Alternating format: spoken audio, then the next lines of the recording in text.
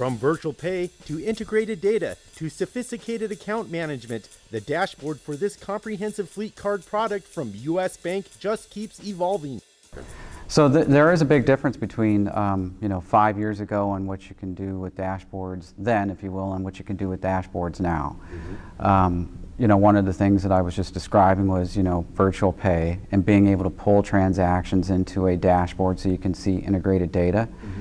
Um, I think the account management piece of this has also become very sophisticated. So, you know, we've got clients who are using the data um, within our portal and or also their portal to manage their accounts um, where they can look at driver IDs, they can you know set up new accounts, they can control where they spend. Mm -hmm. So a lot of you know what fleets want to be able to do, similar to purchasing card programs or corporate card programs and those policies, is establish up front what the policy is and build that into the portal so that you've got control you know within your portal and your fleet administrator can kind of turn off and on switches as they go. So we've seen that with our clients and also you know within our own portal um, because we can actually interface with different clients' portals by sending our data to them or else they can use our portal if they haven't built that type of infrastructure to support their program.